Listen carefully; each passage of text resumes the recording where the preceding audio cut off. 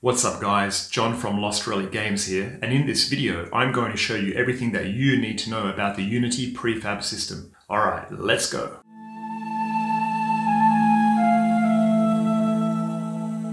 So what is a prefab anyway? The word prefab is short for prefabricated, which is a derivative of prefabrication. These terms are commonly used in construction and manufacturing. Pre-made sections and components combine to create a larger structure. Wikipedia defines prefabrication as the practice of assembling components of a structure in a factory. In our case, the structure is our game world. The factory is Unity. Prefabs can also be thought of as Lego pieces. So how do these prefabs work in Unity? Unity's prefab system allows you to create, configure, and store a game object, complete with all its components, property values, and child game objects, as a reusable asset. The prefab asset acts as a template from which you can create new prefab instances in the scene. Let's change these boring boxes to something a bit more game-like, shall we? Nice. Now pretend this Viking is an enemy in your game. Changes can then be made and applied to the source or master prefab and automatically rolled out to all instances of that prefab game-wide.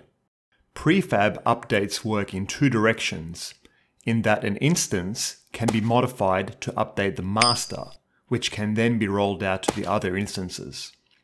It's also possible for instances to have unique attributes from the master prefab and other instances. This is an extremely powerful feature of the Unity prefab system. Any game object in Unity can be a prefab, from players and ammo crates to lights and hidden triggers. Furthermore, game objects that are used solely for scene organization do not typically need to be prefabs. They can though. So why do we want to use them? In Blood and Mead, the game I'm currently working on, I use prefabs everywhere. The player is a prefab, the enemies are prefabs, the environmental objects are prefabs, as well as all individual terrain tiles, effects, and even UI components. Basically, anything that is used repeatedly between scenes and levels should probably be a prefab. Prefabs give you an efficient way of building and populating vibrant scenes without creating similar objects from scratch each time. The most powerful feature of the Unity prefab system is indisputably the ability to roll out changes to various prefab instances simultaneously and instantly. Here we have three instances of a tree prefab. Let's say we want to change the color of the leaves. Rather than changing every single tree individually, we can simply change the master prefab. This will update every instance of this tree, not just in this scene, but the entire game. And as mentioned earlier, we can also have variations between instances that will not be overwritten. So let me tell you a story. Early on in the development of Blood and Mead, I was working on my player controller. I had attached complex box colliders and nested children. Somehow that scene file mysteriously disappeared. I don't know what happened. Maybe I bumped the keyboard, maybe it was the Unity gods. One way or another, I lost that work. If that player controller had been a prefab, I could have just pulled another one from the library and picked up where I left off. That was a tough day. So how do we make them? To turn an ordinary object into a prefab, you simply drag that game object from your scene hierarchy into a project folder. The best practice here is to call the folder prefabs. Notice that the game object's icon turns to a blue cube. This signifies it is now a prefab. These objects can now be deleted and re-added to the scene at any time without risk of losing them permanently. Editing the source or master prefab is easy. You simply locate the prefab in the prefabs folder and hit open prefab or simply double click it. You can also access the master prefab through an instance within the scene. Simply find the instance and click the arrow icon on the right. Doing so will open and isolate the contents of the prefab in a dedicated window. Any edits done inside this state will affect the master, so be careful.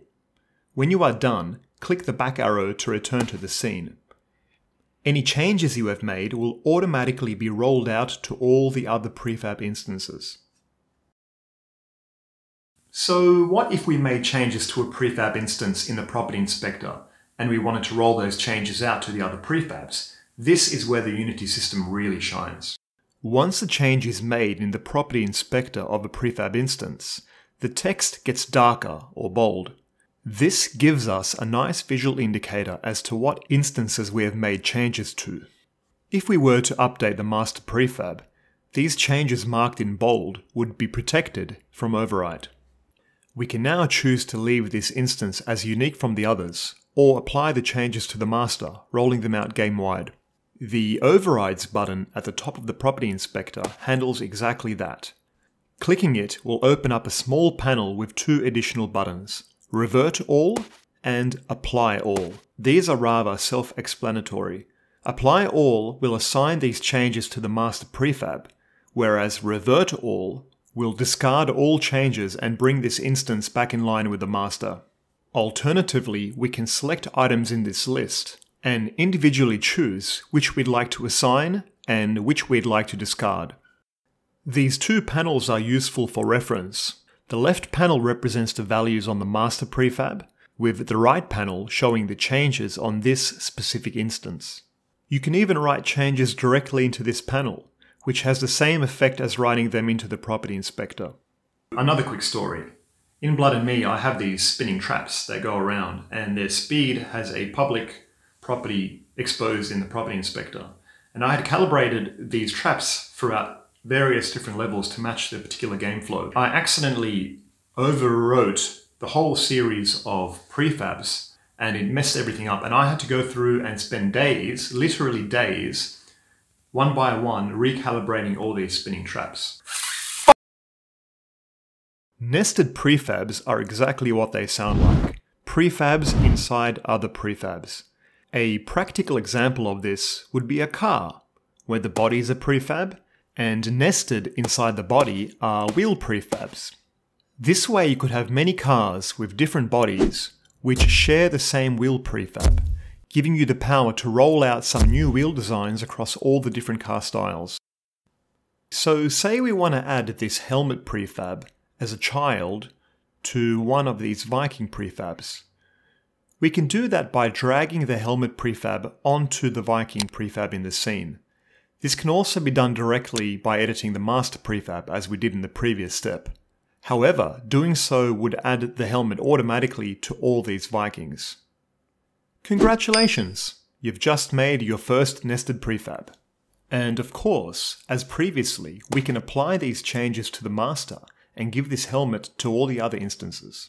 Unity supports deep nesting of prefabs. You'd want to be a little sensible here and not go too far down the rabbit hole prefab within a prefab within a prefab within a prefab. Inception.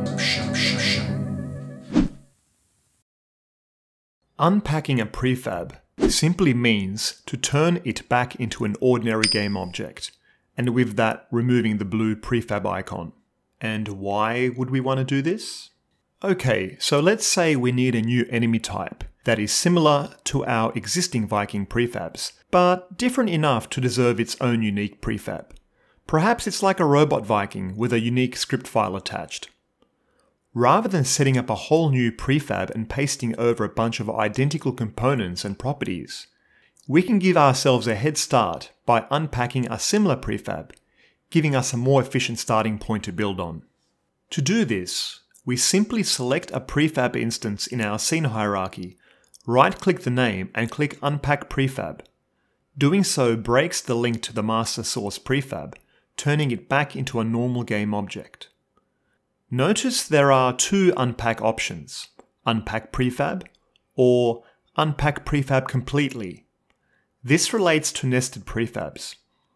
Unpacking completely will not only turn the target prefab back into an ordinary game object, but all the nested prefabs will also be unpacked. In this case, we shall leave the link to the nested helmet and choose the standard unpacking option. Note that this action does not have any effect on the master prefab, which will remain safe.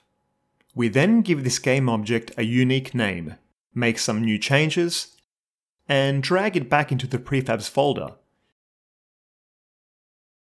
We now have a whole new prefab unrelated to the previous version. Very cool. So how do you feel about prefabs now? Hopefully I've done a reasonable job demonstrating their power while also unpacking some of the intricate nuances. Please do like and share this video if you found it useful. I'd really appreciate that. And of course, sub to the channel if you want to see more game dev videos. I've got plenty coming up. See you guys. Keep it indie.